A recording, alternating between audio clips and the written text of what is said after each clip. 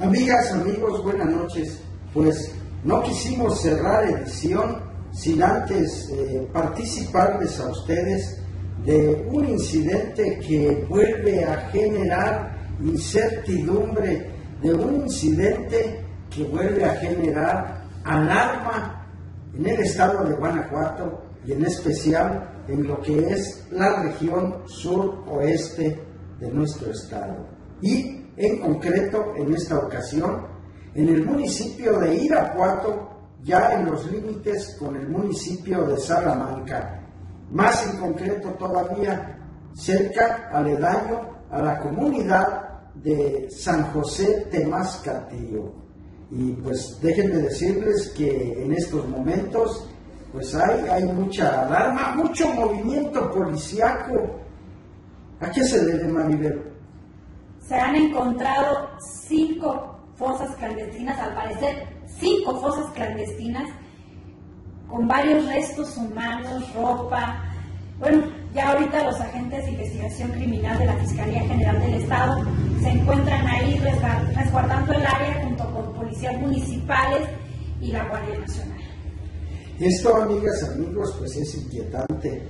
Eh, más si tomamos en cuenta que hasta ahorita la autoridad tanto policíaca como ministerial, han sido muy meticulosos, muy reservados en cuanto a proporcionar eh, información sobre estas cinco fosas clandestinas y desde luego sobre el número, el número de cuerpos que han sido localizados.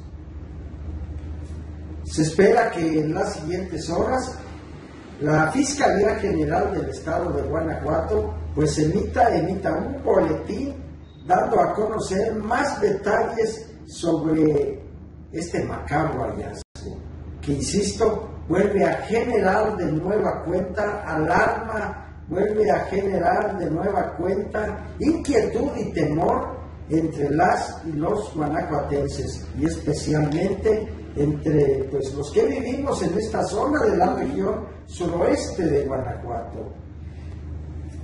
Seguramente que los peritos tendrán pues mucho trabajo para pues llevar a cabo la práctica de pruebas de ADN para poder en un momento dado determinar la identidad de todos y cada uno de los cuerpos que vayan siendo localizados y exhumados de estas fosas clandestinas. Cabe señalar que pues no es la primera ocasión que en mi querido Irapuato se detecta este tipo de situaciones. Hará que Maribel, cosa de un medio año, eh, que acá por el rumbo de Arandas, pues también fueron localizados un buen número de cuerpos en fosas clandestinas. En aquella ocasión, quienes localizaron eh, fueron colectivos que se dedican a localizar este tipo de a sus familiares desaparecidos.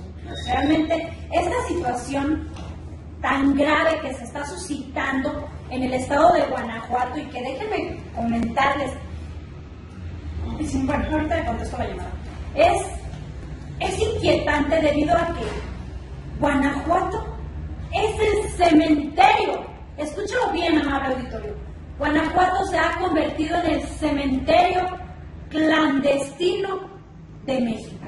Es una situación sumamente desafortunada, pero ¿cómo sale a la luz esta situación? No crean que es por parte de las autoridades competentes, no amable auditorio. Esta desagradable y dramática, macabra situación, porque no tiene otro nombre, macabra situación, se da a conocer por los familiares de todas las personas desaparecidas en el estado de Guanajuato y que cada día son más. Ellos inician una búsqueda, se suman en diversos colectivos para darle búsqueda a sus familiares y es así como empiezan a aparecer estas macabras cosas clandestinas.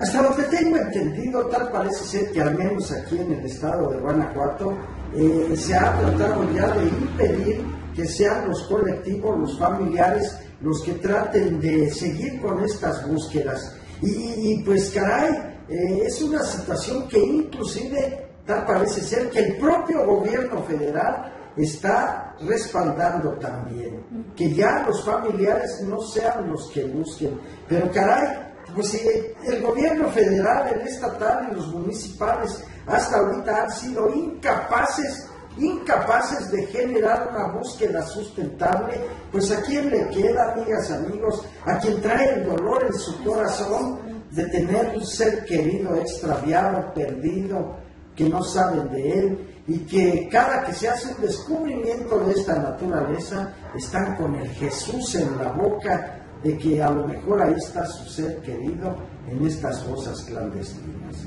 Pues vamos a seguirle dando eh, continuidad, a seguirle dando seguimiento a esta nota, amigas, amigos. Vamos a ver qué nos puede ofrecer eh, la Fiscalía General del Estado en cuanto hace a un boletín oficial.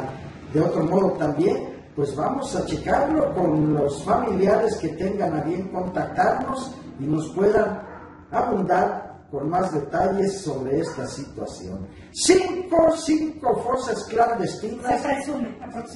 Eh, aproximadamente. localizadas en los límites de Salamanca e Irapuato, en concreto en la comunidad de San José de Temascatío. Amigas, amigos, tengan ustedes una excelente noche.